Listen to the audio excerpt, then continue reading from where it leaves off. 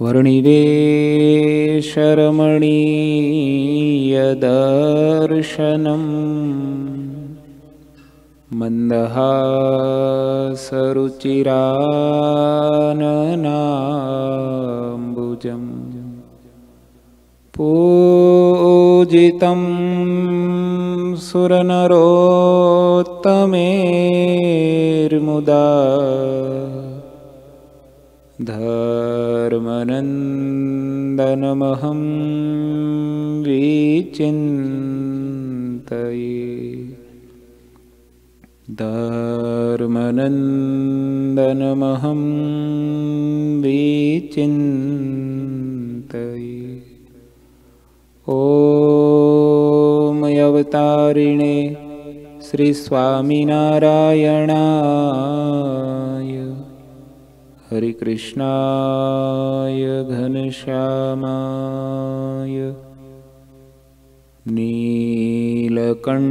नीलकण्ठाय च नमो नमः ॐ श्रीगुरुचरणकमलेभ्यो नमो नमः બોલો શ્રી ઘનશ્યામ મહારાજની શ્રી હરિકૃષ્ણ મહારાજની, શ્રી સ્વામિનારાયણ ભગવાનની. બધા ભક્તોને ખૂબ ભાવથી જય સ્વામિનારાયણ. વાલા ભક્તો, શ્રી હરિચરિત્રામૃત સાગર ગ્રંથ, પૂર, દસ અને તરંગ નવની કથા ચાલુ પ્રસંગમાં ચાલી રહી છે. મહારાજ કરિયાણાની અંદર ઓઢા ખાચર વગેરે દરબારોને ત્યાં બિરાજમાન છે. મહારાજ, કાળુભાર નદીએ સંતો ભક્તો સાથે સ્નાન કરવા પધાર્યા છે. અને ત્યાં જે મહારાજ વાતો કરે છે, જ્યારે ખંભાળાના દરબાર મોકા ખાચરને માણસિયા ખાચરે આવીને ભગવાનને દંડવત પ્રણામ કરીને પોતાને ત્યાં આવવા વિનંતી કરી, મહારાજ, કે અમે તો સત્સંગ રહેતા સુધી, દેહ રહેતા સુધી આ સત્સંગમાં ફરીશું અને દેહ છૂટ્યા પછી પણ મહારાજ, કે અમારે તો સત્સંગમાં જ ફરવું છે, એવી રીતે મહારાજે સત્સંગના મહિમાની ઘણી વાતો કરી. ત્યાર પછી મહારાજે કીધું, અમને ભગવાનના કથા કીર્તન થતા હોય, ત્યાં સુધી અમારું ચિત્ત એમાં ચોંટી જાય છે. અને એમાં ભગવાન સિવાય બીજું કંઈ અમને સાંભળતું નથી, દીવાના થઈ જવાય છે. પછી મહારાજે કીધું, જે કંઈ ભગવાનનું સ્મરણ કરાવે, એ સત્સંગ છે અને ભગવાનની સ્મૃતિ ન કરાવે, એ કુસંગ છે. માટે એને ઓળખીને સંગ કરવો. એ મહારાજે કીધું. અને મહારાજે એક સરસ વાત એ કરેલી કે જેટલા સંતો અને હરિભક્તો હોય તે બધાને પોતાના કરતાં અધિક માનવા સમજવા એવા સંતોના અને હરિભક્તોના દાસ થવાનો અભ્યાસ મહારાજ કે નિત્ય કાયમ કરવો. સત્સંગની અંદર સંતો ભક્તોના ગરજુ થઈને રહેવું, એમની સાથે મહારાજ કે ક્યારેય બખેડો કે ટંટો કરવો નહીં. જો એવું થાય છે તો આપણા સત્સંગમાં એટલો ફરક છે, એટલો ફેર છે, હજી આપણે સંતોનો, ભક્તોનો કે સત્સંગનો મહિમા સમજ્યા નથી. અને મહારાજ કે જીવમાં જેવો સત્સંગ હોય એ તો વર્તનમાં આપોઆપ બહાર દેખાય આવે છે. ત્યાં સુધીની કથા આપણે સાંભળી હતી. હવે નવમા તરંગમાં છવ્વીસમી કડીથી આગળની કથા આપણે સાંભળીશું. મહારાજ કે જેવું વર્તન હોય તેવું પરસ્પર હેત રહે. શુભ વર્તન હોય તો હેત વધે અને અશુભ વર્તન હોય તો હેત તૂટી જાય છે. સત્સંગના નિયમોને જે આદરભાવથી પાળતા હોય તે સંત કે હરિભક્તનું સત્સંગનું અંગ દિન પ્રતિદિન સારું થતું જાય છે. નિયમ બહારની કોઈ વાત કહે, કોઈ વાત કહે ભલે તે ઉપરથી સાંભળવામાં સારી લાગતી હોય, પણ તે કોઈ વખતે વિનાશ કરે છે. તેની મૃત્યુ થાય ત્યારે ગમ પડે છે. મહારાજ કે જેવું આપણું વર્તન હોય, એવું પરસ્પર હેત રહે. ભક્તોમાં.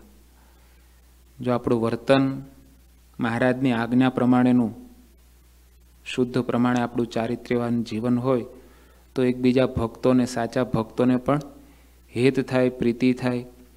પણ આપણી વાણીમાં જુદું હોય ને આપણા વર્તનમાં જુદું હોય, તો મહારાજ કે શુભ વર્તન હોય તો હેત વધે ને અશુભ વર્તન હોય તો હેત તૂટી જાય. કોઈને શરૂઆતમાં થોડી વાર તો પ્રભાવમાં લઈ શકાય, પણ એ પ્રભાવ કાયમ ક્યારે ટકે જો વર્તનમાં હોય, તો જ એ વસ્તુ ટકે છે. નહીતર પહેલી મુલાકાતમાં લાગે કે ઓહો, બહુ સરસ, કોક બહુ સરસ વાત કરતું હોય સ્ટેજ ઉપર કે માઇક લઈને, તો વાતે કરીને લાગે કે ઓહો, બહુ મોટા હશે, બહુ સારા હશે. પણ એની સાથે રહીએ, બેઠે, ઉઠે જેમ એનો સમાગમ કરીએ ત્યારે ખ્યાલ આવે કે એમાં કેવું વર્તન છે, એનું કેવું જીવન છે. અને જો શુદ્ધ વર્તન હશે, તો આપણને એના પ્રત્યે હેત સાચો મુમુક્ષુ હશે, સાચો ભક્ત હશે, તો એને એનામાં હેત વધશે. અને જો એનું શુદ્ધ વર્તન નહીં હોય, તો સાચા મુમુક્ષુને સાચા ભક્તને એમાં પછી હેત રહેશે નહીં. પછી પરસ્પર હરિભક્તોમાં હોય કે સંતો ભક્તોમાં હોય. પણ જ્યાં સુધી આપણું વર્તન ભગવાનની આજ્ઞા પ્રમાણે શુદ્ધ હશે, તો પરસ્પર એકબીજા સંતો ભક્તોને પરસ્પર હેત મહિમા વધશે. અને જો વર્તન યોગ્ય નહીં હોય, તો કદાચ શરૂઆતમાં થોડી વાર કોકને સારું લાગશે, પણ અંતે જતાં જેવું હશે એવું ખ્યાલ આવી જશે. પછી એને હેત રહેશે નહીં. મહારાજ કે સત્સંગના નિયમને આદર થકી પાળતા હોય તે સંત કે હરિભક્તનું સત્સંગનું અંગ પ્રતિદિન, દિન પ્રતિદિન સારું થતું જાય છે.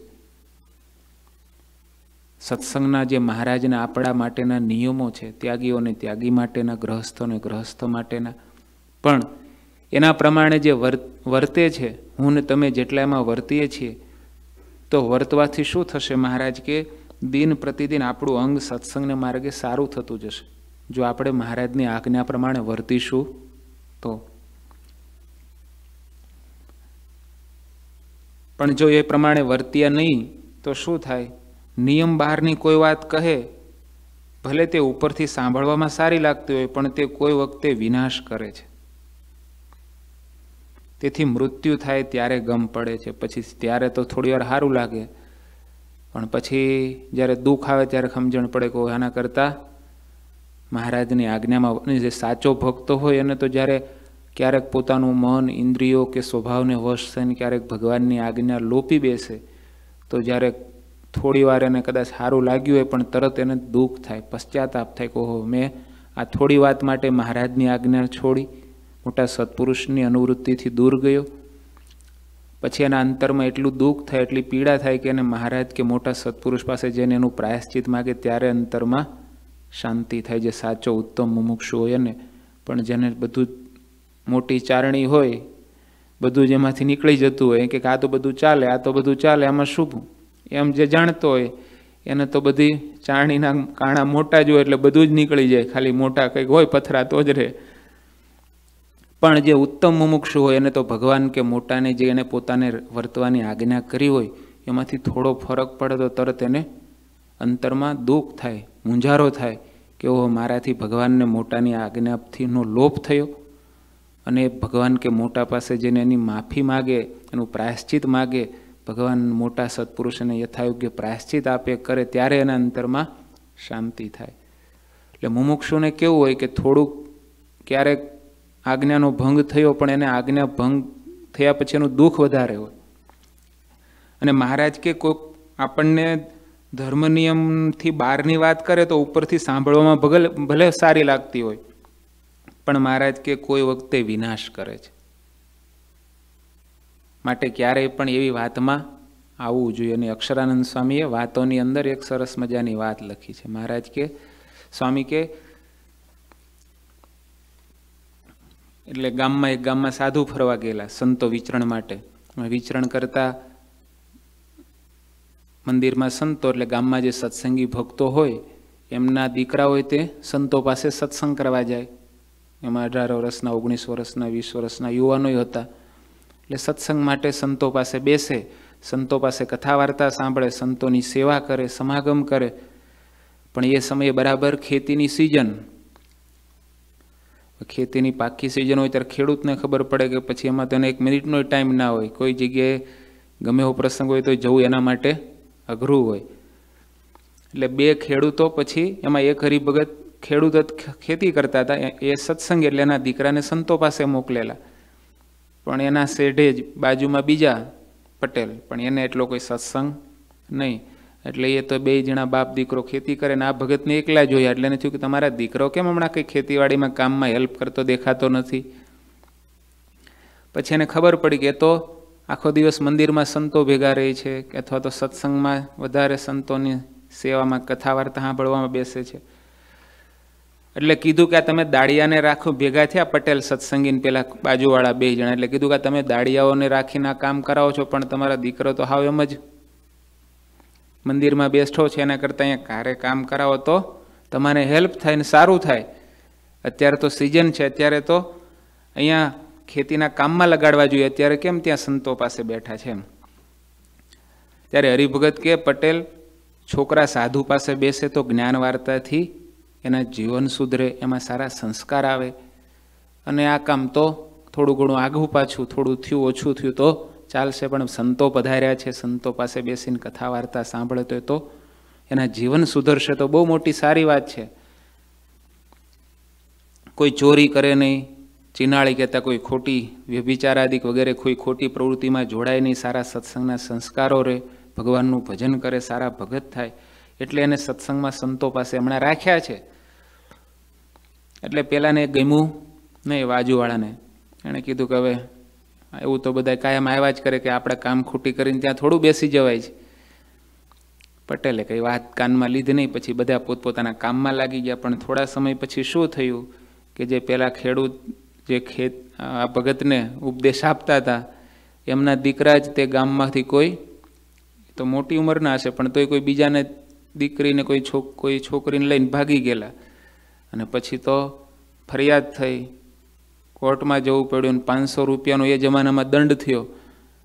એટલે પછી રાત્રે ફરીવાર બીજા ભગત બે ભગત પાછા એકાદ વાર પાછા ભેગા થયા. ખેતી કરતા હતા. કીધું, ભાઈ, અમારા છોકરા સત્સંગમાં જાય તો કે આટલી બધી ખોટ આવે. નહીં, બે પાંચ મણ અનાજ કદાચ થોડું ઓછું પાકે. અથવા તો કંઈ મજૂર કરીને રાખવા પડે. તો બેના પાંચ દસ રૂપિયા જમાનામાં તો બહુ કણાવતા. પાંચેક રૂપિયા આપવા પડે તો આપીએ. પણ આટલું મોટું પાંચસો રૂપિયાનું નુકસાન થાય નહીં અને સત્સંગ પાછા સંસ્કાર હોય એ વાત તો જુદી. એટલે ઘણીવાર કોઈ કહેતું હોય આપણને પણ સમજાવે. આપણને એટલું બધું શું કામ ધંધા મૂકીને આ બધું સત્સંગ પરાયણ કરવાનું દિલીપભાઈ ના કે આવું અઠવાડિયું અઠવાડિયું બધું છોડીને એક મંદિરમાં આવી જાઓ, તો તમારે બીજું કંઈ છે નહીં કામ ધંધો એવું કોઈક કે? પણ એની વાતમાં જો આપણે આવીએ ને આપને લાગે આપણા હિતે જ શું છે? પણ વાસ્તવમાં આપણા હિતે જ શું હોય? નહીં. માટે મહારાજ કે નિયમ બારની કોઈ વાત કહે, ભલે તે ઉપરથી સાંભળવામાં સારી લાગતી હોય, પણ તે કોઈ વખતે વિનાશ કરે છે. એટલે સત્સંગ માટે કરેલું, ભજન માટે, સંતોના સમાગમ માટે આપણે વાપરેલો સમય, ભગવાનની આજ્ઞા પાળવામાં દાખવેલી તત્પરતા, એ આપણા માટે હંમેશા સારું જ છે. એમાં ક્યારેય ખોટું થતું નથી. ભગવાનને ભજતા મહારાજ જેમની શું કહેવાય? તુલ, આપણે નરસિંહ મહેતાએ કીધું, હરિને ભજતા હજી કોઈની લાજ જતા નથી જાણી. જેણે ભગવાનને જ શિર સાટે ભજ્યા છે. ભગવાનની આજ્ઞા પાળી છે, એની ક્યારેય લાજ જતી નથી. આ લોકમાં ક્યારેય દુઃખી થતો નથી. જે ધર્મને પાળે છે, ધર્મો રક્ષતી રક્ષિત. જે ભગવાનની આજ્ઞા પાળે છે, જે ધર્મ નિયમમાં વર્તે છે, એની રક્ષા ધર્મ કહેતા સ્વયં ભગવાન કરે છે. પણ જીવને એમ થાય કે હવે આ જમાનામાં જો બધું પાળવા જઈએ તો કાંઈ થાય નહીં એટલે અમુક તો જવા જ દેવું પડે. આમ વિચારીને માણસો મોટું મોટું એને કેટલું નીકળી જાય. પણ ભગવાનના ભક્તને ભગવાનની આજ્ઞા દ્રઢતાથી, તત્પરતાથી પાળવી ઘટે. કારણ કે ઘણી, ઘણીવાર આપણું મન તર્ક કુતર્ક કરે કે આવા શું, આટલું શું, આટલું તો હવે ચાલે. પણ ત્યારે વિચારવું કે મારા મહારાજે જે આજ્ઞા કરી છે, એમણે જે શિક્ષાપત્રીમાં લખ્યું છે મારા માટે, એ ભગવાને લખ્યું છે તો યોગ્ય જ લખ્યું છે, એણે તો વિચારીને જ લખ્યું હશે ને. એનાથી તો કે આપણું, આપણે મોટા નથી.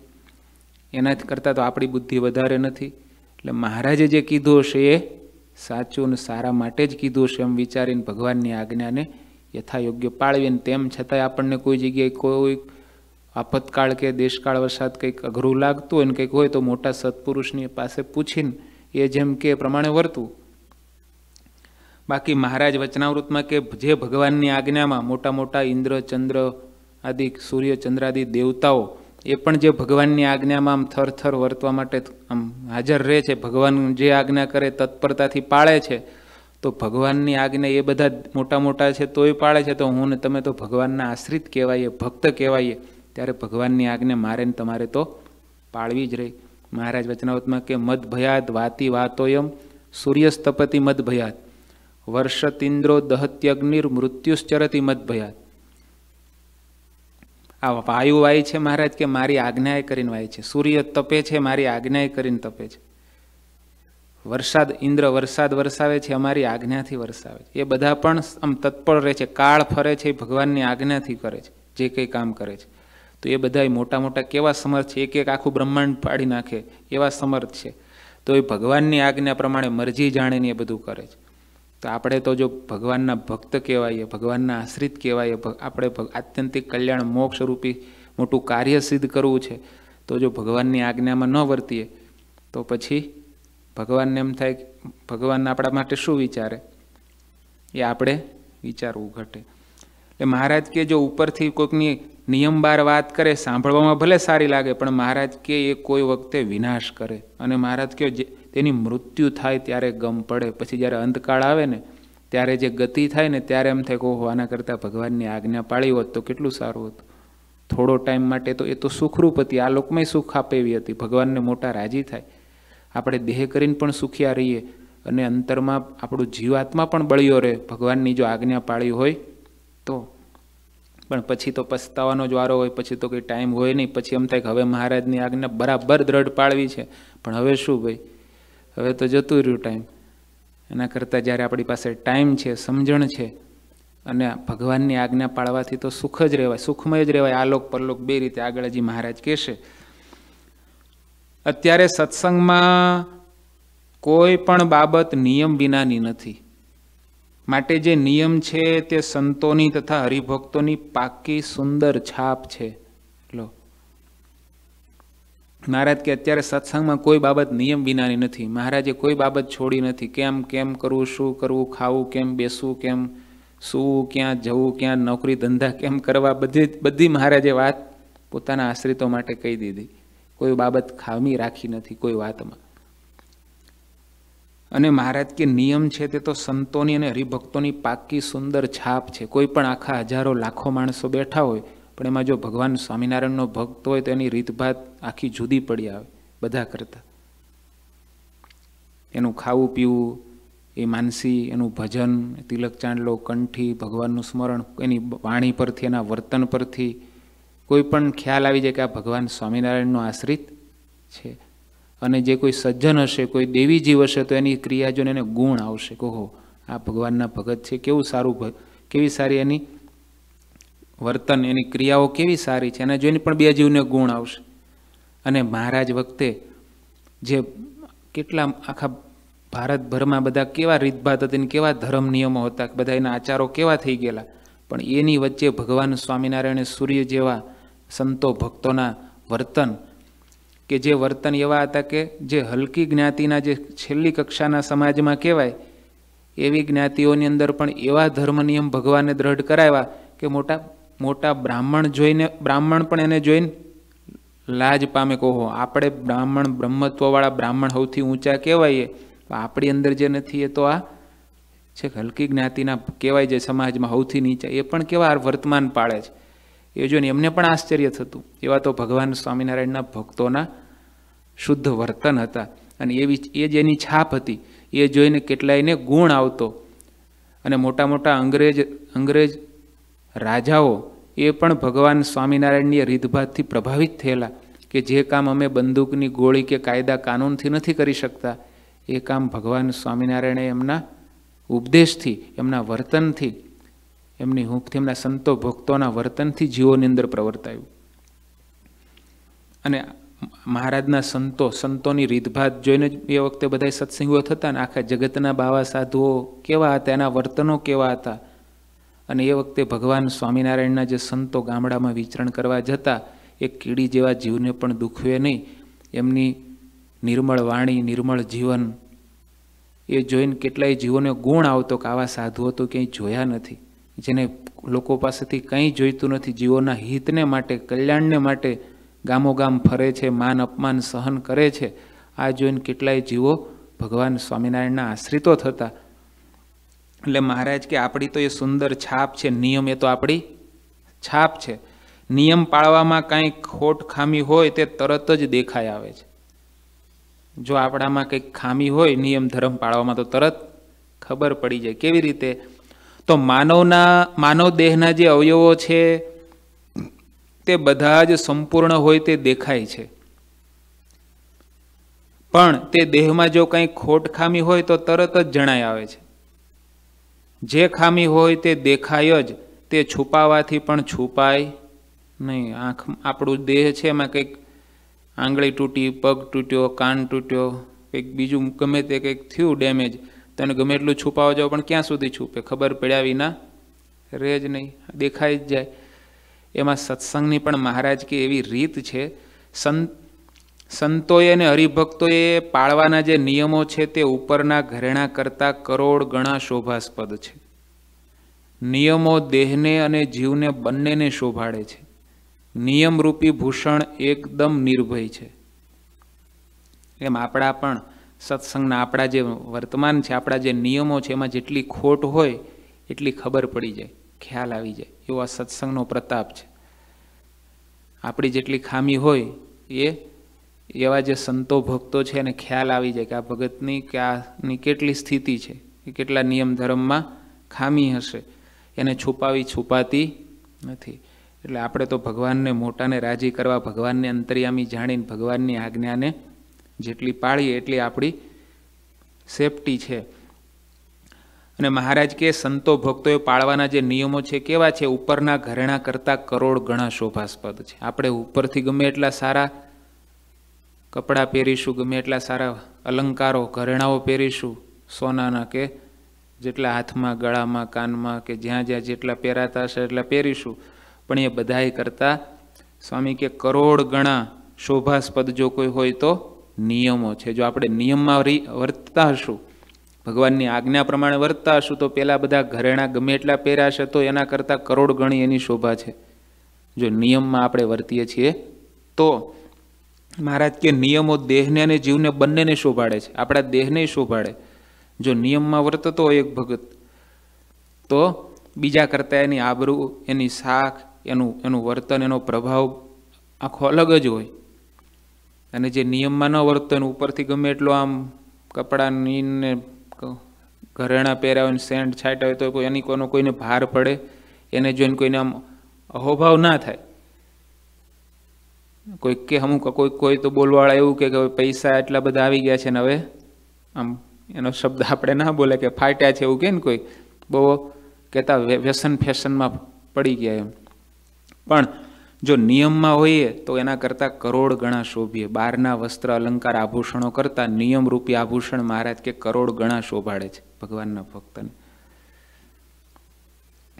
नियमरूपभूषणधरे उजेहु तिनकरि शोभतयतिते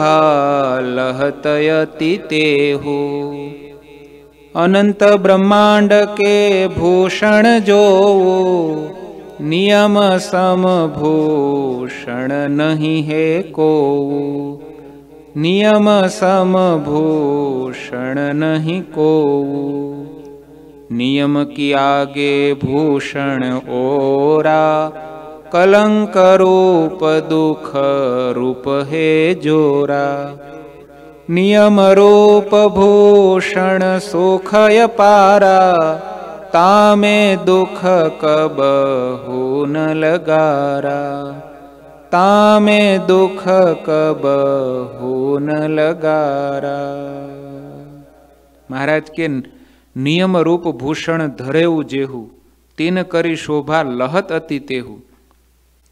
નિયમરૂપી આભૂષણ જેણે ધાર્યા હોય તેની શોભા અત્યંત ચમકે છે. અનંત બ્રહ્માંડોમાં જેટલા આભૂષણો છે, તેમાં કોઈ પણ આભૂષણ નિયમોના જેવું નથી. આખી મહારાજ કે અનંત બ્રહ્માંડમાં, એક બ્રહ્માંડમાં નહીં. અનંત બ્રહ્માંડોમાં જેટલા આભૂષણો, એટલે ઓર્નામેન્ટ ઘરેણાઓ આખા બ્રહ્માંડમાં નહીં, આખી પૃથ્વી પર નહીં, આખા બ્રહ્માંડના નહીં. મહારાજ કે અનંત બ્રહ્માંડોમાં જેટલા આભૂષણો છે. એક બ્રહ્માંડમાં તો કેટલા આવે? ઠેઠ બ્રહ્માના, ઇન્દ્રાદિક, દેવતાના પણ આભૂષણો આવી ગયા. પણ એ આખા બ્રહ્માંડના નહીં, પણ અનંત બ્રહ્માંડોમાં જેટલા મહારાજ કે આભૂષણો છે, તેમાં કોઈ પણ આભૂષણ નિયમોના જેવું નથી. લો. કેટલી મોટી નિયમની શોભા છે, કેટલી મોટી નિયમની મહત્તા છે. એટલે નિયમ જે પાળવા, મહારાજ કે નિયમરૂપી આભૂષણ જેણે ધાર્યા હોય તેની શોભા અત્યંત ચમકે છે. એનો પ્રભાવ, એને, એના જીવનમાં એને પણ સંતોષ, સુખ અને અહોભાવ હોય જે નિયમમાં વર્તતો હોય એ ભક્તને. નિયમના લોભ જેટલો થતો એટલો આપણને પણ દુઃખ હોય જો ભગવાનના ભક્તો હોઈએ તો. એટલે એટલે તો શાસ્ત્રોમાં કીધું શીલમ પરમ ભૂષણમ. બીજા બધા ભૂષણ કરતાં ચારિત્ર્ય એ જ શ્રેષ્ઠમાં શ્રેષ્ઠ ભૂષણ છે. કોઈ ગમે એટલું ઉપરથી સારો દેખાતો પણ ચારિત્ર્યમાં ભ્રષ્ટ હોય તો કોઈ એને સારો સજ્જન માણસ એની પાસે ઊભો રહેવા પણ તૈયાર થાય. એનાથી દૂર જતા રહે. એટલે મહારાજ અહીંયા ભક્તોને નિયમની દ્રઢતા કરાવવા માટે નિયમનું શું મહત્વ છે ભગવાન પોતાના આશ્રિત ભક્તોને સમજાવી રહ્યા છે. એમાં દરબારો બધાય છે. એટલે મહારાજ વિશેષા વાતો કરે છે. નિયમોની સરખામણીમાં બીજા આભૂષણો તો ઘણા કલંકરૂપ અને દુઃખરૂપ, દુઃખમય હોય છે. નિયમરૂપી આભૂષણોમાં અપાર સુખ રહ્યું છે, તેમાં કોઈ પણ જાતનું થોડું એ દુઃખ ક્યારેય હોતું નથી.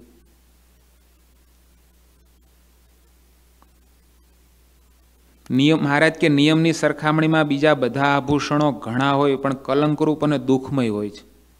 તમારી પાસે બીજા ગમે એટલા સારા આભૂષણો જેટલા હોય એટલું જોખમ વધી જાય. બહાર જાઓ તો જેટલા મોટા સોનાનું પહેરીને આમ નીકળો, હાથમાં પગમાં બધે જે કંઈ તમારાથી જ્યાં પહેરાતું હોય એટલું. પણ જેટલું પહેર્યું એટલી જોખમ વધે કે ભાઈ કોક કાળિયા ધોળી આવીને કંઈક આપણને શું કરશે કંઈ નક્કી નહીં. પણ આચરણમાં નિયમ ગમે એટલા પાળતા હોય તો દુઃખ થાય કે ઓહો, શું થશે? કોણ શું કરી જશે? કોણ ચોરી જશે? કોણ લૂંટફાટ કરી જશે? પણ જો પહેર્યું હોય જેટલું એટલું એના ઉપર જોખમ પણ વધારે. અને દુઃખરૂપે વધારે કલંકય લાગે. પણ નિયમરૂપી ચારિત્ર્યરૂપી આભૂષણો જેણે પહેર્યા છે, એ તો અનંત એની શોભા છે. એમાં મહારાજ કે કોઈ જાતનું લગાર પણ ક્યારેય દુઃખ એને નડતું નથી. એમાં તો અપાર સુખ જ રહ્યું છે. નિયમોથી વિરુદ્ધ કોઈ વસ્ત્ર પહેરે કે હીરા મોતી જડેલા સોનાના ભારે ઘરેણા પહેરે તો તે લાંછન રૂપ કહેવાય અને તે નિયમ વિરુદ્ધ હોવાથી પાપરૂપ અને દુઃખરૂપ, દુઃખદાયક ગણાય. લો, નિયમથી વિરુદ્ધ ગમે એવા વસ્ત્ર પહેરે. જગતમાં હવે અત્યારની રીતભાત પ્રમાણે એમ કે ભાઈ જગતની રીતે રહેવું પડે કરવું પડે તો એ પ્રમાણે કરવા જઈએ, તો હા, લોક કદાચ વખાણતું હશે, કોઈકને સારું લાગતું હશે. પણ મહારાજને ને સંમતમાં આવે છે, મહારાજને ગમે છે. કે ગમે એટલા મહારાજ કે હીરા મોતી જડેલા સોનાના ભારે ઘરેણા પહેરે તો તે લાંછન રૂપ કહેવાય.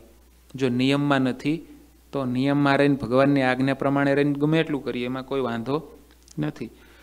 અને મહારાજ કે તે નિયમ વિરુદ્ધ હોવાથી પાપરૂપ અને દુઃખદાયક ગણાય. નિયમમાં નથી તો એ પાપરૂપ છે. એ કરવું એ પાપ.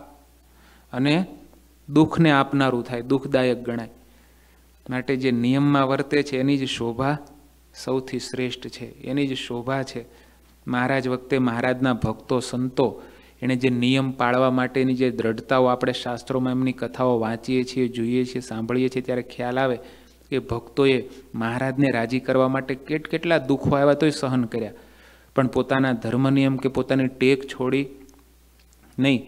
જીવા જોશી બ્રાહ્મણ હતા, મહારાજની આજ્ઞા પ્રમાણે વર્તતા જેત જેતપુરના લોકોએ ચડાવ્યા અને બ્રાહ્મણોએ બ્રાહ્મણોને એમ કે આપણી નાત બાર થયો, એક બહુ મોટો આશ્રિત થયો રાજાએ બ્રહ્મ ભોજન કરાવ્યું. પણ કીધું, અમે બધાએ કરીશું, થાળ બનાવીશું, પણ આ જમશે નહીં. રાજા કે, જમશે? એમાં શું વાંધો? એમ કરીને બધા બ્રાહ્મણોએ ચો બધી રસોઈ તૈયાર કરીને જીવા જોશીને બોલાવ્યા. પણ જીવા જોશી કીધું કે, આમાં લસણ ડુંગળી છે, મારાથી જમાય નહીં, મારા મહારાજની આજ્ઞા નથી. ત્યાંથી એકવાર નીકળ્યા, ફરી એકવાર ફાગ બોલવા માટે કીધું. તો કે ગામ છોડ ગામ, ગામમાંથી પહેરેલા કપડે કાઢી મૂકીશ, જો નહીં બોલતો. તો કે તમે જે કરો એ તમે રાજા છો. આ ગામમાં, આ રાજ્યમાં તમારું ચાલે. પણ મારા મહારાજની હું તો ભગવાન સ્વામિનારાયણનો આશ્રિત છું. માટે મારા ગળેથી ક્યારેય ગાળ નીકળે નહીં. તો ગામ છોડ્યા, નાતબાર થયા, કેટ કેટલા કષ્ટો આવ્યા, તો એ ભક્તોએ ભગવાનની આજ્ઞા છોડી નહીં. આજે આપણને ભગવાનને મોટા સત્પુરુષો આજ્ઞા પાળવા માટે કેટ કેટલું કહે, તોય હું તમે, તોય કેટલી એમાંથી બારી હોધી લેતા હોય. ત્યારે એ ભક્તોએ મહારાજને રાજી કરવા કેવા કેવા નિયમો પાડ્યા. કેવી કેવી દ્રઢતાઓ રાખી વાંક્યાના મોકા ખાચર. આપણે ઘણીવાર કથા સાંભળી હશે, એકાંતિક ભગવાનના ભક્ત એ ખાચર દરબાર હતા, પણ કેવા ભગવાનના ભક્ત થયા. નિત્ય એમને પાંચસો માળા ફેરવવાનું નિયમ હતું. એકવાર એની ખેતરમાં કંઈક માપણી માટે કંઈક ગામ લોકોએ તકરાર કરી. કે આણે બધી અમારી જમીન દબાવી લીધી છે ને તેમ. પછી ઠેઠ પેલા ત્યારે તો અંગ્રેજોનું રાજ્ય હતું, લાંગ સાહેબ કરીને ગામમાં પછી આવ્યા. બધા એને ભેગા કરીને માપણી માટે જતા હતા. અને ભગતને તો ઘોડે એમના ઘોડે બેસીને મોકા ખાચર માળા ફેરવતા હતા. તો અચાનક કંઈક થયું ને ઘોડું ભડક્યું. તો પડ્યા. તો પડ્યા એટલે બધા ભેગા થઈને પાછા એમને ઉઠાવ ઉઠાવવા માટે આવ્યા. શું થયું? આ તે પૂછવા લાગ્યા. પેલા અંગ્રેજ સાહેબ પણ આવ્યા. પણ તોય ભગત કંઈ બોલે નહીં. પડ્યા તો પડ્યા, પગ તૂટી ગયેલો. તો એ માળા પૂરી કરી, પચીસ માળા પછી પૂરી થઈ ત્યારે કીધું, વાત કરી. ત્યારે કીધું, તમે પહેલાં બોલતા નહોતા ને વાર રહીને પછી કેમ બોલ્યા? પડ્યા ત્યારે અમે બધા આટલું પૂછતા હતા કે ભાઈ, મારે માળા ભગવાનની માળાનું નિયમ છે. હું વચ્ચે બોલું તો મારી આગળની ફેરવેલી બધી માળા હું ગણતો જ નથી. અને કદાચ કોઈક ઇમરજન્સી એટલું કામ આવ્યું આપતકાળ આવ્યું બોલવું પડ્યું તો પચીસ માળા પૂરી થાય, પછી બોલવાનું. પછી પછી આગળ બીજી પચીસ થાય, તે પહેલાં વચ્ચે બોલવાનું નહીં. આવો નિયમ. ત્યારે પહેલાં લાંક સાહેબને થયું કે આવું, આવો ભગવાનના ભગત આટલું નિયમ પાળનારા પાંચસો માળા પણ કોઈનું ખેતર ક્યાંથી ડૂબ લે? પહેલાં ને ત્યાંથી ત્યાંથી એને છૂટા કર્યા. અને કીધું કે આ તમારી કોઈની જમીન આ લે નહીં માપવા પણ રહ્યા નહીં.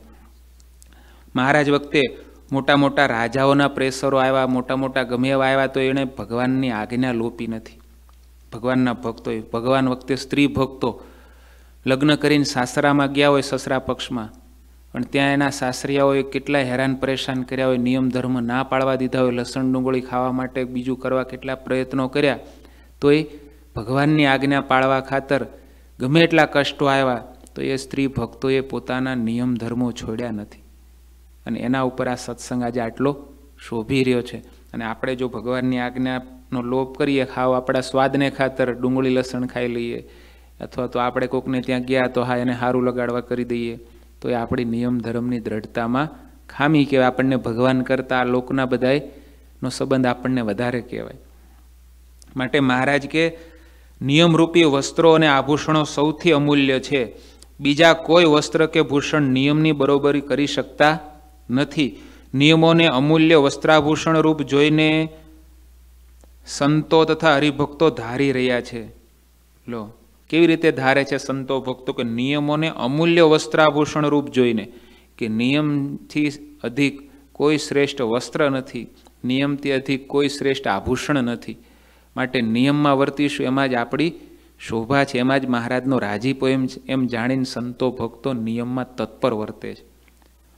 અને એવા જે આજ વર્તમાન કાળે પણ એવા વર્તનારા ભક્તો, સંતો, ભક્તો આપણી વચ્ચે છે. આપણા કેટલાય બધા નાના બાળકો છે, તો એ કેટલાય અત્યારે ચોટલીઓ રાખે, કંઠી, તિલક, ચાંદલો કરીને સ્કૂલમાં જતા હોય. ત્યાં સ્કૂલમાં કોઈ દિવસ બહારનું કોઈ ખાય નહીં. ક્યારેક કદાચ ક્યારેક કોઈક આપે ક્યાંક હોય તો એમ પાછળ બધું જોવું જોયા વિના નાખે. ક્યારેક આપણે આપી દીધું હોય તો એ બધું કે કે ભાઈ આમ આમાં તો આવું છે, આપણાથી જમાય નહીં, આજે એકાદશી છે, આ કેન્ડી જમાય નહીં. એમની દ્રઢતા છે, એ નિયમ ધર્મની આપણામાં હશે અને આપણે બાળકોને એવી ટેવ પાડીએ છીએ તો છોકરા જ સપોર્ટ આપશે, એ જ આપણને શીખવાડશે. આપણા કેટલાક હરિભક્તો તિલક ચાંદલો રાખવાને અર્થે સ્ટોર ધંધા બિઝનેસ છોડવા પડ્યા, તો એ છોડી દીધા.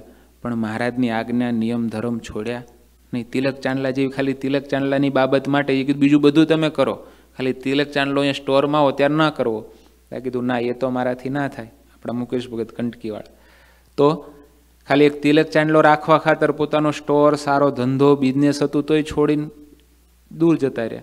પણ તિલક ચાંદલો છોડ્યો નહીં કે એ તો મારે કરવો જ પડે. તો આપણે તો નાની નાની વાતમાં બધું જતું કરતા હોય એવું કરવું ઘટે નહીં. નિયમરૂપી વસ્ત્રને ઘરેણા સંતોને અને હરિભક્તોને પ્રતિદિન શોભાડે છે. અને નિયમ વિનાના વસ્ત્ર અને ઘરેણા કોઈને ક્યારેય શોભાડતા નથી. સત્સંગમાં અને ભગવાનમાં વધારેમાં વધારે હેત થાય એવી રીતને તો નિયમવાળા જાણે છે. તેના સિવાયનો કોઈ જાણી શકતો નથી. લો, સત્સંગમાં ને ભગવાનમાં વધારેમાં વધારે હેત થાય એવી રીતને કોણ જાણે? નિયમવાળા જાણે છે. બીજા કોઈ મહારાજ કે એની સિવાય કોઈ જાણી શકતા જે નિયમ પાળે છે, આજ્ઞામાં વર્તે છે, એને ખ્યાલ છે સત્સંગમાં ને ભગવાનમાં કેમ વધારે હેત થાય? એક પણ આજ્ઞા તૂટે તો કેટલું દુઃખ થાય? કેટલા ભગવાનનો રાજીપો, મોટા સત્પુરુષોનો રાજીપો, ભગવાનનું સુખ કેટલું જતું રહે છે, એ કોને ખબર પડે? જે નિયમ ધર્મમાં વર્તે છે, ભગવાનની આજ્ઞા પાળે છે ને પણ જેને બધું જ ચાલે છે એને શું ખબર પડે કે એક આજ્ઞા લોપાય કે તો શું સત્સંગ કે ભગવાનના હિતનું શું ફરક પડે છે? ભગવાનમાં કેવું સુખ અનુભવાતો, એમાં કેટલો ફરક, એમાં કેટલો ગેપ પડી જાય છે? ભગવાનના દ્રષ્ટિમાં જે કરુણા વહેતી હોય કરુણામાં કેટલો ફેર પડે છે? એટલે ભગવાનમાં હેત વધારે વધારેમાં, ભગવાનમાં ને સત્સંગમાં વધારેમાં વધારે હેત થાય એવી રીતને તો નિયમ ધર્મવાળા જાણે છે. જગત આજે તો જગતમાં મોટે ભાગે ઘણીવાર નિયમ ધર્મની વાત કરવી અઘરી થઈ જાય, અમુક જગ્યાએ તો. એમ કે અહીંયા આવે, આ દેશમાં આવું બધું ના હોય, અત્યારે આવું બધું થોડું હોય એમ, એ તો પહેલાં હતું. આવું કમણ ઘણા માનતા હોય. પણ જેને ભગવાનને રાજી કરવા છે, એને તો ભગવાનની આજ્ઞા પાળવી ઘટે. અને જેટલી પાળીશું એટલું આપણને ભગવાનનું સત્સંગનું વધારે સુખ આવશે. એટલું આપણને ભગવાનમાં સત્સંગમાં વધારે દ્રઢ હેત થશે મહારાજ, કે વધારે વધારે હેત થવાની રીતને નિયમવાળા જાણે છે. બીજા જાણી શકતા નથી. આટલી વાત કહીને મહારાજે આટલી વાતો બધી ક્યાં કરી? કાળુભાર નદીના કાંઠે જ મહારાજ આટલી તો વાતો કરી. નાતા નાતા પેલા દરબારો આવ્યા ને પછી મહારાજ. અને પાછા મહારાજ દરબારગઢમાં આવ્યા. પલંગ ઉપર આવીને મહારાજ બેઠા હરિભક્તો કીર્તન ગાવા લાગ્યા. નવ તરંગ ત્યાં પૂરા થાય છે અને દસમા તરંગનો આગળ પ્રારંભ થાય. મહારાજ પલંગ ઉપર આવીને બેઠા એટલે સંતો હરિભક્તો બધાએ પણ આવીને મહારાજની આગળ બેસી ગયા સભામાં.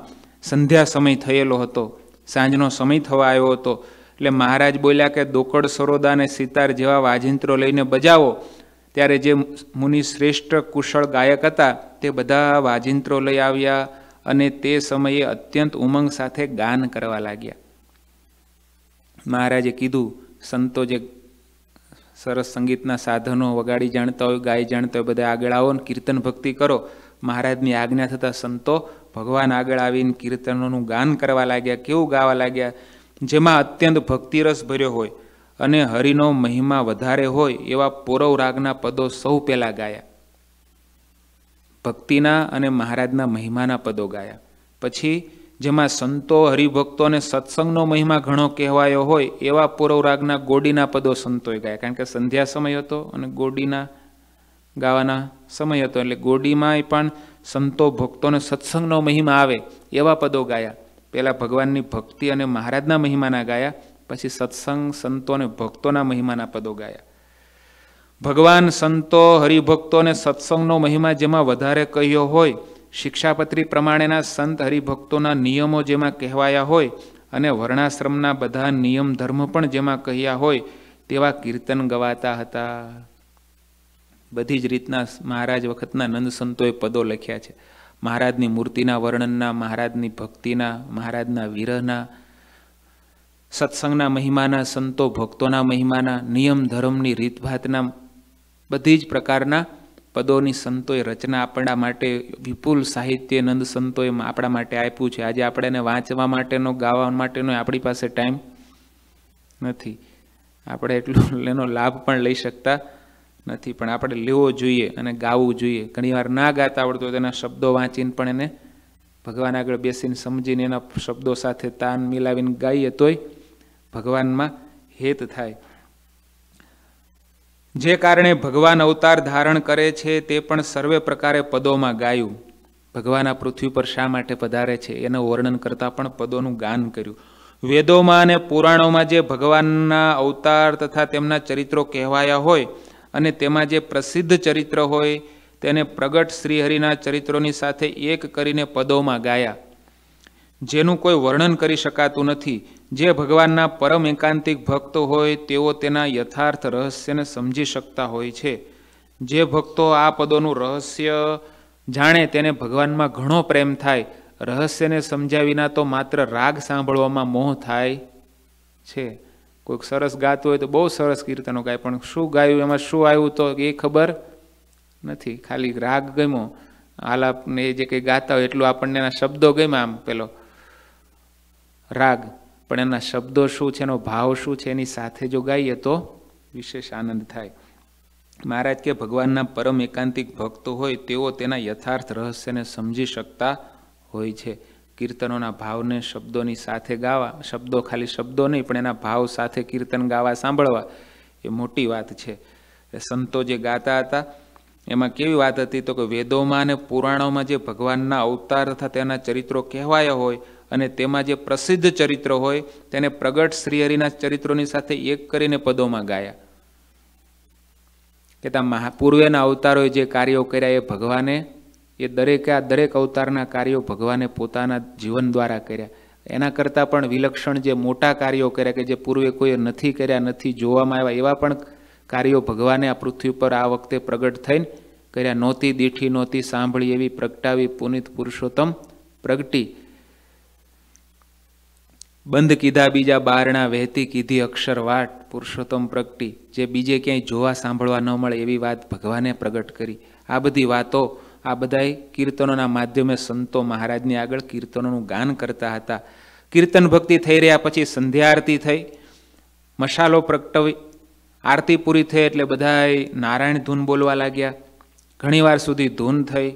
ધૂનની અંદર અવતારોના જે નામ, અવતારોમાં જે રામકૃષ્ણ ગોવિંદ, નારાયણ હરે, વાસુદેવ હરે, આ જે પ્રસિદ્ધ ધૂનના નામ છે તે નામોને શ્રીરી ધૂનમાં બોલતા આપણે જે ધૂન પછી, આરતી પછી જે પદ સાંજે ગાઈએ છીએ ને એ પ્રમાણે.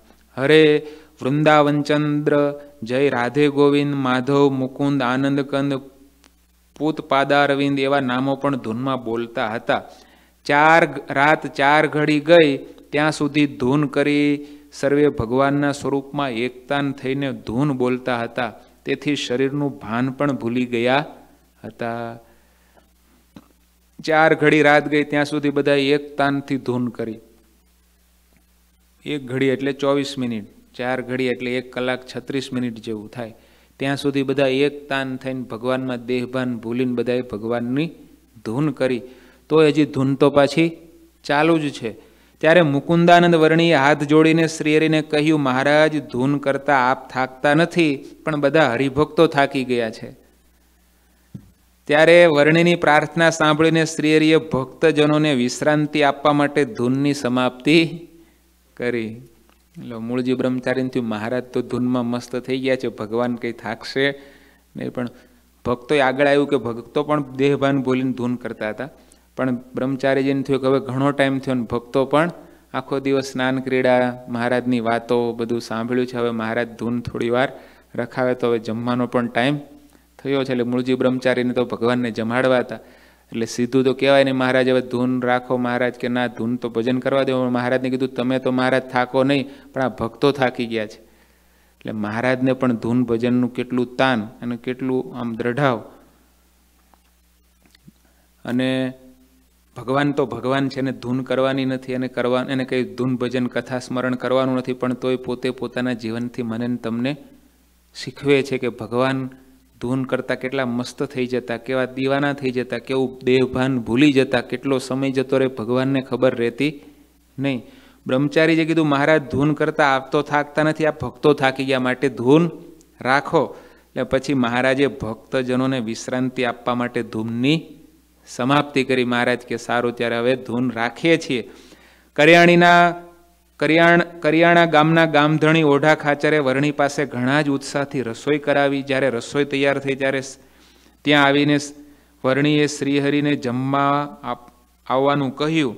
દરબારનો ઘણો જ ભક્તિભાવ હતો તે જોઈને તે સમયે શ્રીહરિ જમવા ઉઠ્યા. એક પિતાંબર પહેર્યું અને બીજું ઓઢી લીધું. ચરણોમાં ચાખડીઓને ચાતુર્યથી પહેરી. મહારાજ આમ પિતાંબર ઓઢ્યું એક પહેર્યું છે અને ચરણમાં ચાતુરતાપૂર્વક, ચાતુરતાથી ચતુરાઈપૂર્વક ચાખડી પહેરી. એટલે ભગવાનની જે ચાખડી પહેરવાની આમ અલૌકિક રીતભાત હતી, એ જોઈને અહોભાવ થાય એવી ભગવાનની ચાખડી પહેરવાની ઢબ હતી ને પછી મહારાજ ચટચટ કરતા ચાલતા, જ્યાં થાળ જમવાનો હતો, ત્યાં આવ્યા હાથ હાથમાં નવો રૂમાલ રાખ્યો હતો. પાણીથી કર પાણીથી ચરણ કમળ ધોયા અને વર્ણીએ પોતાના રૂમાલથી ચરણોને લૂછ્યા. પછી શ્રીહરિ આવીને બાજોઠ ઉપર બેઠા. વર્ણીએ ભાતથી ભરેલો થાળ આગળ ધર્યો. દૂધ અને સાકરના ભરેલા કટોરા પણ ત્યાં શ્રીહરિની આગળ મૂક્યા. મહારાજે હાથ પગ ધોયા, વરણીજીએ લૂછી આપ્યા. મહારાજ પછી એક બાજોઠ ઉપર આવીને બેઠા છે. મૂળજી બ્રહ્મચારીએ બીજો બાજોઠ આપ્યો. એમાં થાળ મૂક્યો અને સૌથી પહેલાં ભાત પીરસ્યો છે. અને દૂધ અને સાકર ભરેલા કટોરા પણ ભગવાનની આગળ મૂક્યા છે. રસ નિપુણતા બતાવતા શ્રીહરિ પ્રેમથી દૂધ અને ભાત જેમ્યા. તે સમયે દરબાર ઓઢા ખાચરે શ્રીહરિની આગળ કહ્યું,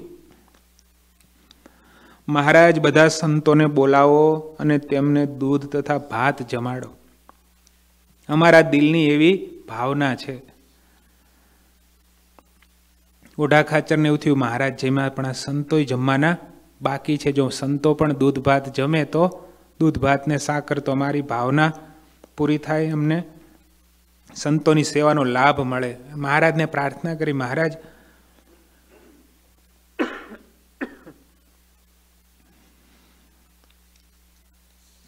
સંતોને બોલાવો ને અમારા દિલની એવી ભાવના છે. તો પ્રભુ, અત્યારે તે ભાવનાને પૂરી કરો. આવી રીતે ઓઢા ખાચરે મહારાજને વિનંતી કરી. મહારાજ તો જમ્યા. પછી મહારાજ કે, પછી હે હરે, વારે વારે આવો અવસર આવે નહીં. આપના દર્શન પણ ઘણા દુર્લભ છે. પછી દરબારનો ભાવ પૂરો કરવા માટે શ્રીહરિએ સંતોને પોતાની પાસે બોલાવ્યા. ઓઢાખાચરની હૃદયની શુદ્ધ ભાવના, સંતોને જમાડવાની ભાવના જોઈ. વિવેકભરી વિનંતી કરી, મહારાજ, આવો અવસર અમને વારે વારે મળનારો નથી. માટે સંતોને પણ દૂધ અને ભાત, સાકર જમાડો.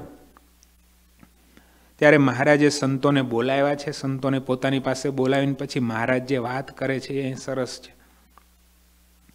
મહારાજે કહ્યું, જેને જેવી રુચિ હોય તે પ્રમાણે સૌ સંતો દૂધ અને ભાતને જમો. શું કીધું? જેને જેવી રુચિ હોય તે પ્રમાણે સૌ સંતો દૂધ અને ભાત જમો. ત્યારે બ્રહ્માનંદ સ્વામીએ કહ્યું, જેવો આપનો ભાવ હોય તેમ કરીએ. અમારે તો જમવાનો લગારે ભાવ નથી. મહારાજે એવું ના કીધું, ચાલો સંતો બધાએ જમો દૂધ જમી લો. એવું ના કીધું. મહારાજે એવું કીધું, જેની જેવી રુચિ હોય એ પ્રમાણે સૌ સંતો દૂધ ને ભાત જમો. બ્રહ્માનંદ સ્વામી તો મહારાજના મર્મને સમજી ગયા. સ્વામી કે, મહારાજ જેવો આપનો ભાવ હોય એમ કરીએ. મહારાજ, અમારે કોઈ ભાવ નથી, અમારે કોઈ રુચિ નથી. અમારે તો જમવાનો લગારે ભાવ નથી મહારાજ. તમારી જ રુચિ હોય ને તમારી આજ્ઞા હોય તો અમે જમીશું. બાકી અમારે કોઈ જમવાનો એવો ભાવ નથી. મહારાજ એવું કીધું ને, જેને જેવી રુચિ હોય પ્રમાણે બહુ જમો બધા પણ સંતોને તો આમ એવું હતું. એને કાંઈ દૂધ, ભાત કે સાકર જમવાની સંતોને એવી કોઈ રુચિ હતી નહીં. આમે સંતો તો એક ટાઈમ જ જમતા બપોરે. આ તો સાંજનો સમય છે.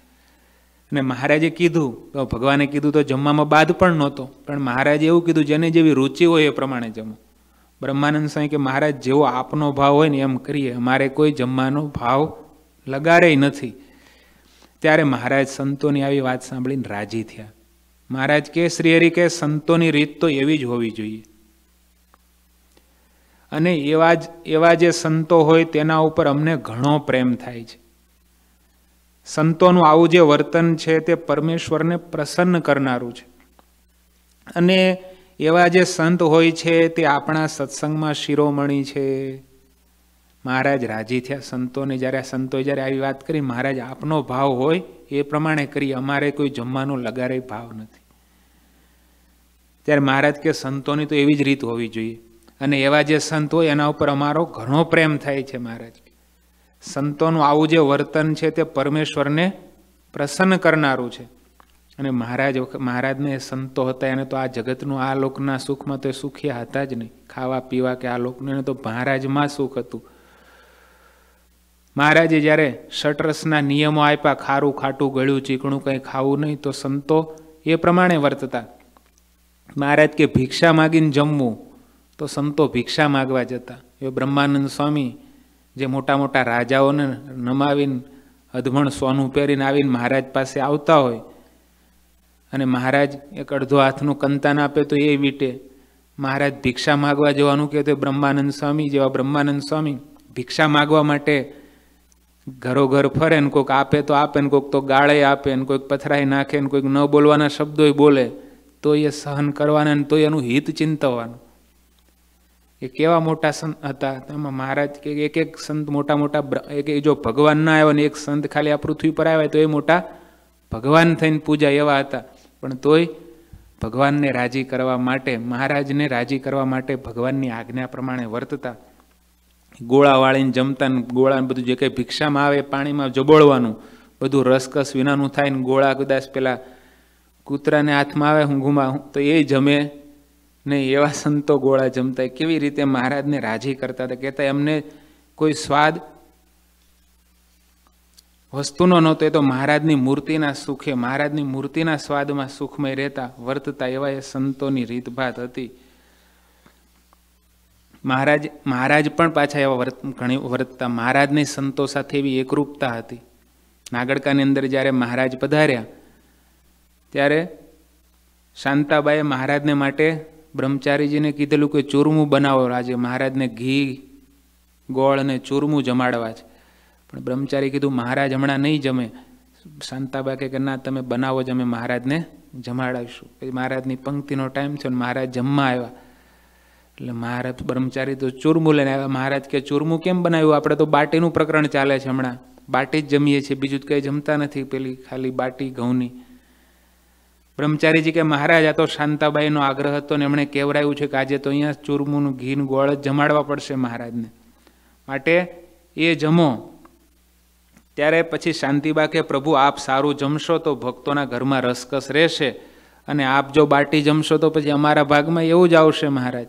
માટે આપ જમાડો. ત્યારે મહારાજ કે, ભક્તોના ભંડાર તો ભગવાન ભાવથી પૂરા કરે છે, પણ મહારાજ કે, અમારા સંતોને નિસ્વાદી વર્તમાન છે, તેથી અમારે આવશે જમાય મહારાજ કે સંતો જ અત્યારે ષટરસના નિયમ પાળે છે તો અમે આવું કેમ જમીએ?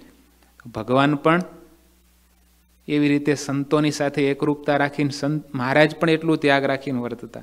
પણ ભગવાન પાછા જમાડે ત્યારે આવું આવી રીતે સંતો વર્તતા એટલે મહારાજ સંતો પર રાજી થઈને જ્યારે જમાડતા ત્યારે જમાડતા એવું પાછા. અહીંયા જ્યારે સંતોની આવી રીત જોઈને ત્યારે મહારાજ રાજી થયા. મહારાજ કે સંતોનું આવું જે વર્તન છે ને ભગવાનને પ્રસન્ન કરનારું છે. અને એવા જે સંત હોય છે તે આપણા સત્સંગમાં શિરોમણી છે. જેને આ જગતના સુખમાં જેની વૃત્તિ નથી, એની વૃત્તિ કેવળ ભગવાનની મૂર્તિમાં છે. મહારાજ ક્યારેક જમવાની આજ્ઞા કરે તો એ સંતો તો ભગવાનનો પ્રસાદ જાણીને ભગવાનની સ્મૃતિમાં વૃત્તિ રાખીને જમતા. જ્યારે મહારાજે આપણે ધરમપુરનો પ્રસંગ આવેલો કે ધરમપુરમાં કુશળ કુરબાઈએ ત્યાં બધા સંતોના તબિયત થોડી બગડેલી ને પછી બાઈ જાતે ઉપર રહીને બધી રસોઈ બનાવતા બ્રાહ્મણો પાસે. મહારાજને કીધું, મહારાજ, અહીંયા સંતોને બધાને જુદું જુદું જમાડો. અહીંનું પાણી એવું છે કે અહીંયા સંતોની તબિયત એના વિના સારી નહીં થાય. એટલે મહારાજે કીધું, સંતો જમાડજો. પણ તોય સંતો તો મહારાજના સ્વરૂપમાં રુચિ રાખીને ભગવાનની રુચિ જાણીને જમતા. શ્રીહરિએ ભાત જમ્યા પછી હાથ અને મુખને ધોઈને જેટલા દૂધ અને સાકર વધ્યા હતા, તે ખંભાળાના મોકા ખાચરને અને માણસિયા ખાચરને આપ્યા. જે બે દરબારો આવ્યા હતા ને એ બંનેને મહારાજે થાળની પ્રસાદી આપી હતી. એમનો બધો પરિવાર પણ હતો એટલે પ્રસાદીના રૂપમાં બધું આપી દીધું. મહારાજના થાળમાં જે હતું બધું એમને આપ્યું. પછી શ્રીહરિની સાથે જે સંતો અને પાર્ષદો વગેરે આવ્યા હતા તે સૌને બોલાવીને જમવા બેસાડ્યા. પછી મહારાજ કે, સાલ બધા સંતો બેસી જાઓ. વર્ણીએ બધાને ભાત પીરસ્યો અને શ્રીહરિ મુખવાસ જમતા જમતા ત્યાં આવ્યા અને શ્રીહરિએ જેને જેટલા જોઈએ તેટલા દૂધ અને સાકર પીરસ્યા. મહારાજ કે બધા સંતો બેસી જાઓ. પછી મહારાજની આજ્ઞા થઈ એટલે સંતો બેસી ગયા. અને ભાતને, દૂધને, સાકર જેને જેટલા જોઈતા તે પ્રમાણમાં મહારાજે બધાને પીરસ્યા. વર્ણિને જેટલું જોઈએ એટલું દૂધને, સાકર વગેરે શ્રીરે પહેલાં જ આપી દીધું હતું બ્રહ્મચારીજી માટે. સંતોને પાર્ષદોએ જમી લીધું. પછી જે દૂધને, સાકર વધ્યા હતા, તેને જ્યાં દરબારો જમવા ગયા હતા, ત્યાં પહોંચાડ્યા. સંતો પાર્ષદો જમ્યા પછી જે વધ્યું પછી મહારાજ કે દરબારો જે બધા જમવા બેઠા છે, ત્યાં એમને પ્રસાદ આપો. પછી શ્રીહરિ આવીને પલંગ ઉપર બેઠા, પાછળથી બધા સંતો પણ જમી પરવારીને ત્યાં આવીને શ્રીહરિની આગળ બેઠા. જમીન પછી સાંજનો સમય છે. પાછા મહારાજ પલંગ ઉપર બેઠા અને સંતો પણ આવીને મહારાજની આગળ આવીને બેસી ગયા છે. એવામાં મહારાજને કંઈક વિચાર થયો. સોરઠમાં ગિરનાર પર્વતની પાસે જુનાગઢ શહેર છે. ત્યાંથી પશ્ચિમ દિશામાં પાંચ કોષ દૂર મેઘપુર નામે ગામ છે. ત્યાં વિપ્રોની ચોરાસી કરવાને માટે શ્રીહરિએ પત્ર લખાયો. મહારાજને વિચાર થયો કે આપણે મેઘપુરમાં ચોરાસી કરવી છે. અને કેવી ચોરાસી? ચોરાસી એટલે ચોરાસી નાતના બ્રાહ્મણોને જમાડવા છે. પાછા કેટલા દિવસ? એક દિવસ, બે દિવસ, પાંચ દિવસ નહીં. ચોરાસી નાતના વિપ્રોને જમાડવા, એને બોલાવવા એનું સીધું સામાન ને બધી તૈયારી કરવી, એ કેટલું મોટું કામ છે. પણ અમે એ એક દિવસનું હોય તોય, પણ ભગવાનને કેટલા દિવસ જમાડવા ત્યાં લખે છે? તે પત્રમાં તે પત્રમાં મયારામ ભટ્ટ ઉપર બધી ભલામણ લખી, મહારાજે પત્ર લખાયો વિપ્રોની ચોરાસી કરવા માટે. મયારામ ભટ્ટ ઉપર, તે દેશમાં જેટલા બ્રાહ્મણો રહે છે તે બધા છ માસ સુધી જમી શકે, તેટલા ગોળ અને ઘી વગેરે જે સીધું સામાન જોઈએ તે બધું ભેળું કરાવજો. કેટલા? છ મહિના. આપણે છ દિવસ કોઈ મહેમાન આવ્યા તો અઘરું પડે જ કરે એમાં તો છ મહિના સુધી પાછા બધાય બ્રાહ્મણોને, ચોરાસી નાતના બ્રાહ્મણોને જમાડવાના. મહારાજ કે, એટલું સીધું સામાન ભેગું કરજો. અને તે દેશમાં રહેતા પરોતભાઈ આદિ હરિભક્તો ઉપર પણ પત્ર લખાવ્યા. અને દરબાર ઝીણાભાઈ ઉપર પણ પત્ર લખાવ્યો. મયારામ ભટ્ટના ભાઈ ગોવિંદરામ ભટ્ટ સામેથી કરિયાણા આવ્યા હતા. ગોવિંદ, મયારામ ભટ્ટના ભાઈ હતા, ગોવિંદ ભટ્ટ.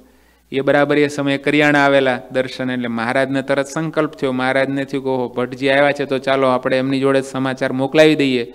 અને અગાઉથી ત્યાં બધી તૈયારીઓ કરે. મેઘપુરની અંદર છ માસ સુધી બ્રાહ્મણોને જમાડવા છે.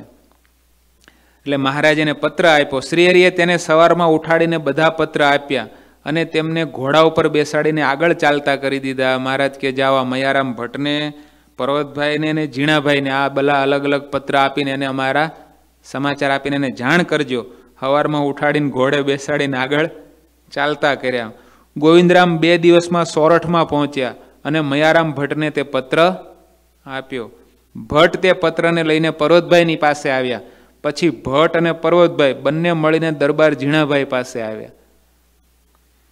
જાળિયાથી હીરાભાઈને પણ ત્યાં બોલાવ્યા. તે બધા ભેળા મળીને પછી મેઘપુર આવ્યા અને શ્રીહરિનો પત્ર અમરસિંહ ભાટને આપ્યો. મહારાજની આજ્ઞા એક જણાને મોકલ્યો એટલે ત્યાંથી મયારામ ભટ્ટ પાસે આવ્યો, ત્યાંથી પરોતભાઈ પાસે આવ્યા એ મયારામ ભટ્ટ અને બંને ભેગા થઈને પછી ઝીણાભાઈ પાસે આવ્યા, કારણ કે ઝીણાભાઈ મોટા દરબાર. એમની પાસે આવ્યા ને ત્રણેય જણાએ ભેગા મળીને બધી વાતચીત કરી. મહારાજની રુચિ છે, મહારાજની આજ્ઞા છે અને મહારાજને છ મહિનાનો મેઘપુરમાં ચોરાસી કરવી છે. કે ભક્તોએ તો કે આવીને આગળ વિનંતી કરી નહોતી. ભગવાનને સંકલ્પ થયો ને ભગવાને ખાલી આજ્ઞા કરી. ભગવાનની ખાલી આજ્ઞા થાય ત્યાં સુધીમાં એને તૈયારી કરી દેવાની. એ ભક્તોની ધન્ય છે. મહારાજ કહેતા કે અમે આવીએ છીએ અને પાંચ દિવસ રોકાવાના છે તો બરાબર છે. પણ હવે છ મહિના સુધી બ્રાહ્મણોને જમાડવાના ચોરાસી કે બે પાંચ પચીસ જણાને જમાડવાના નહીં. ચોરાસી નાતના બ્રાહ્મણો. અને મહારાજના ખાલી એક પત્ર માત્રથી આ ભક્તો પણ બધી તૈયારીઓમાં લાગી ગયા. અને તેણે ભેગા મળીને પછી મેઘપુર આવ્યા. મેઘપુર ગામમાં ભગવાનને કરવું હતું એટલે મેઘપુરમાં જવું પડે, ત્યાંના ભક્તોને ભેગા કરવા પડે. એટલે ત્યાંના આગેવાન હતા અમરસિંહ ભાટ. એને મહારાજના સમાચાર આપ્યા, પત્ર આપ્યા કે મહારાજની આવી ઈચ્છા છે અહીંયા મોટો. ચોરાસી નાતના બ્રાહ્મણોને ભગવાનને જમાડવા છે ને એક બે પાંચ દિવસ નહીં, પૂરા છ મહિના આવી રીતે ત્યાં આવીને બધા ભેગા મળ્યા છે ને હવે આગળ શું થાય છે કથા આગળના તરંગમાં આવશે. ઇતિ શ્રી સહજાનંદ સ્વામી શિષ્ય સિદ્ધાનંદ મુનિ વિરચિત શ્રી હરિચરિતામુ સાગરના દશમપુરમાં શ્રી હરિએ મેઘપુરમાં ચોરાસી કરવા અંગેનો પત્ર મયારામ ભટ્ટ ઉપર મોકલ્યો. એ નામે દસમો તરંગ સમાપ્ત થયો. બોલો શ્રી ઘનશ્યામ મહારાજની જય. શ્રીપતિમ શ્રીધરમ સર્વદે. ભક્તિધર્માત્મજમ વાસુદેવમ હરે. માધવમ કેશવમ કામદમ કારણમ સ્વામિનારાયણમ નીલકંઠમ. ભજે શ્રી ઘનશ્યામ મહારાજ.